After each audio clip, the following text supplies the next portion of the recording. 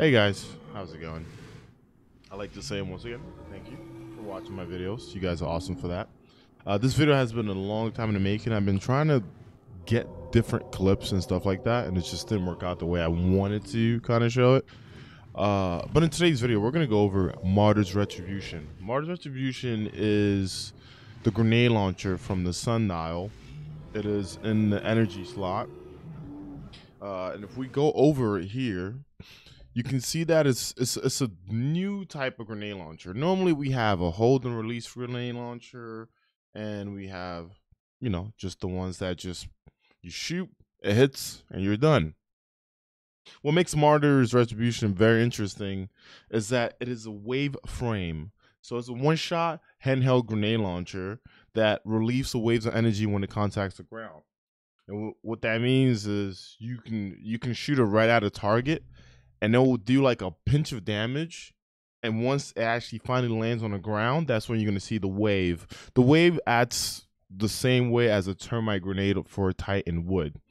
It does an, a bunch of damage initially through the freaking ground, and that's what like that's what kind of makes this grenade launcher kind of stand out because you can almost use it as uh an ad control or an ad clear. It is only one wave. It is not just like it's not like the Titan Thermite, which kind of goes three times. This thing only does it once. But I found a few different intrinsic things about this grenade launcher. Like if I go against the Cyclops, I can shoot it into the Cyclops and get it stuck in there. And since the game doesn't register as that being on the ground, it, it just keeps moving around. It keeps taking that same uh, small damage over and over and over and over again. Um, let me see if I can show you that here in game. It's gonna be hard to do because I, I try finding, uh, you know, just just something that I can. Uh, I try finding something like uh, Cyclops, like in the game, or just a, a, a, a crazy I don't know, like a crazy situation where I can kind of get this stuck into a target. I even tried doing Riven in her mouth, but it, it, it didn't work out the way I wanted to show you. But like, let's see here, like the ogre, right? If I shoot the ogre, you can see that 2067 is what hits the ogre, right? But if I jump in the air and actually get the wave frame to work, if I shoot here, you can see that there are two different numbers. There's there's the potential hits, and then there's the wave frame damage, which only goes through once. Now let me see if I can kind of show you what I mean by this. I'm gonna see if I can recreate this 2057 a few times. I'm trying to get it right in the hip of this ogre, but this is not working. As you can see there, the 2057 hit a few times in the ogre. You see that? I got two or three hits. Now, like I said, if you do go against the Cyclops, or you know, you're like wondering what the hell ZK is talking about, just try to get that shot like stuck in it. You'll see that the damage just happens over time, and that Cyclops is going to die from it. Here's another cool thing about this gun. I tried going in and figuring out, you know, whether it needed blast radius, whether it needed velocity. Like I wanted to know what made it tick, right? I wanted to know which barrel was the better thing for this. And I use all barrels. And one of the perfect situations that I'm, I'm going to show here is I don't think the first two or even the masterwork matter that much. I'm still going to give you what I think I will prefer on this gun. But I'm just going to show you a difference here. So I kind of brought this captain down. He likes to hang out on the ground, right? So I'm going to take off his shield. I have two different grenade launchers set here. One has a velocity masterwork, smart drift and high velocity, and the other has smart drift uh, and high velocity with blast radius.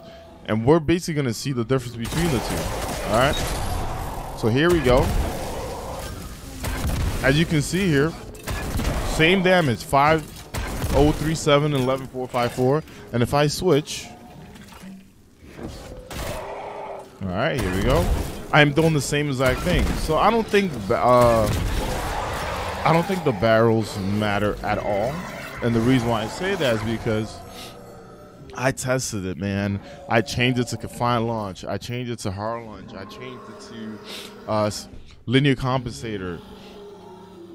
Over time, honestly, use whatever you like. but I like smart drift with high velocity. Doesn't mean that that's something that you should go for. I even tried going for Genesis a few times, and I thought about this.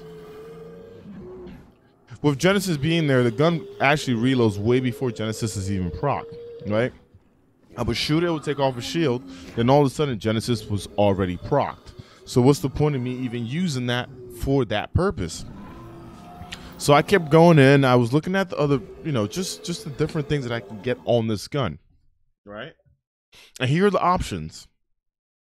We have auto loading, we have field prep, we have threat detector, we have Genesis, we have underdog. Out of all of these, I believe I like auto loading because if I'm going to use this gun to clear up on ads, I'm probably going to just shoot it down, right? I'm just going to I'm just gonna shoot it at the ground. It's gonna clear out that wave. I'm gonna switch weapons to my primary, whether I'm using a hand cannon, an SMG, uh, whatever I have in my hand, a scout rifle, a pulse rifle, an AR, whatever I like to use. Once once that initial shot goes through, I have 2.5 seconds in order for this gun, you know, just to, just just for that one wave. And when it comes back, if I need it again, I can do it again. The gun does great damage, and if I'm running a good heavy, I don't really need to worry that much about reload on this gun either. So here's where a lot of things come into play. I noticed that blast radius is not a thing that I need. I noticed that velocity is not a thing that I need. But then what am I going to do? Am I going to get a stability or, or handling masterwork?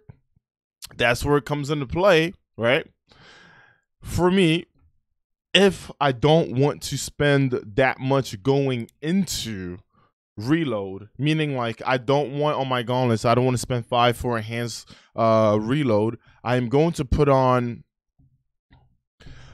the elemental capacitor, especially if I like to run solar subclasses. Why do you say that? I get increased reload speed if I am on a solar subclass. I'm also going to go for a reload masterwork. What does that bring my reload to? It brings my reload to 85, but I still don't know exactly how much the increased reload from elemental capacitor is because the game generally doesn't kind of tell you that. But I'm sure that it maxes it out, and I can use the generic.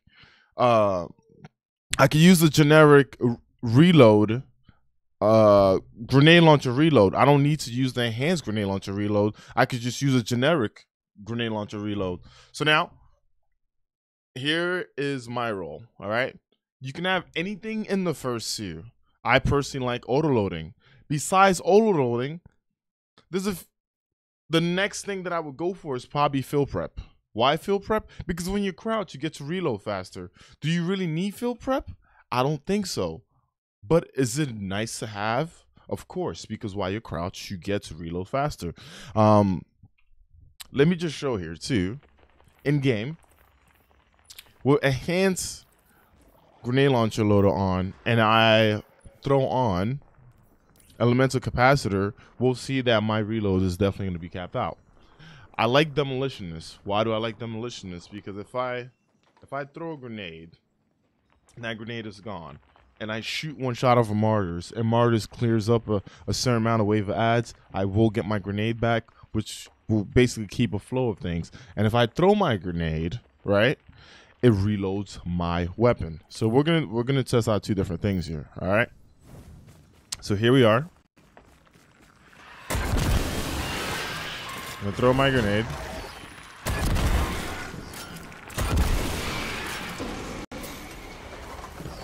Actually, I'm not on demolitionist yet. I'm sorry. As you can see here, this thing just it, it covers it covers ground. And I can also do this, right? I can go to my weapon here, shoot it a few times, come back to this, and boom, keep on the show. But I don't think reload is, is, is such a big thing that's needed, especially if you run the elemental capacitor. All right. So what I'm gonna do is I'm gonna run back out. I'm gonna come back in, and I'm gonna throw on demolitionist so we can kind of see the difference between the two. All right. I think Autoload and Demolitionist are going to be my favorites. You can always use field prep so you can you can crouch uh, while you reload, but I don't think you need it, especially if you have the gauntlets for a hands grenade launcher loader. If you're using auto loading, then you don't need to worry about reload at all, right? Genesis, I was a huge fan of. I tried testing it. I tried making it work. It didn't automatically reload it because as Genesis hit, you were already reloading the weapon. All right. So I'm gonna throw this out. As you can see here, I basically have my grenade back. Would this be something that I would rather use? Yes, it would. And if I do this and I throw my grenade, look at that. My gun is back and loaded once again. This is definitely a fun weapon to use. I haven't used it as much as I want to yet. But if you haven't known the sundial, it is definitely something to keep for the future. You never know. Uh, a great place to use this would be Reckoning, especially on that bridge with all those ads coming at you. You can just kind of like, you know, shoot one, have it kill a bunch of things, especially on a day that like Grenadiers on is like a perfect thing. Or even like taking it to strikes, man. This gun is freaking awesome. It's very different. And I'm glad that Bungie's bringing in things like wave frames I do hope that there's more complex weapons in the future. Um, it is weird that like it doesn't rely on blast radius or velocity or even the barrels as much. Um, and even between high velocity and implosion, I didn't see a difference there. I didn't see a, a huge option like, hey, this is better than that. They're both kind of the same to me. All right. I also do like using freehand grip because I, I mean, unless you have rangefinder and you and you kind of want to zoom in. But here's the thing: rangefinder kind of helps you out with range, and then like velocity and blast radius on all the other jazz. In this situation, you don't need it at all. You really don't. You know. But like I said, when you guys get the chance, make sure you get one and go test it out. It's a really fun gun to use. I just want to say thank you for watching this video. Thank you for coming in and seeing what I think about this weapon. And I'll see you guys on the next one. Deuces.